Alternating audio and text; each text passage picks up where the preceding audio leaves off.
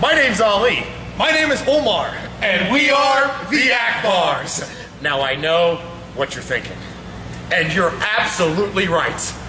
We are proud, patriotic Americans.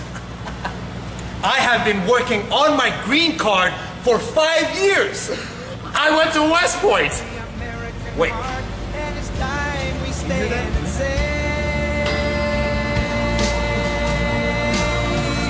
And I'm proud to be an American, where at least I know I'm free.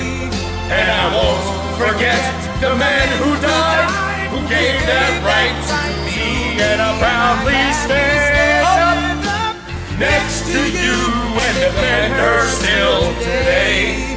Cause there ain't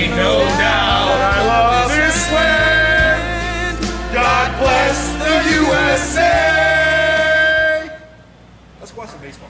How about NASCAR? Team America. Yeah. Lovely.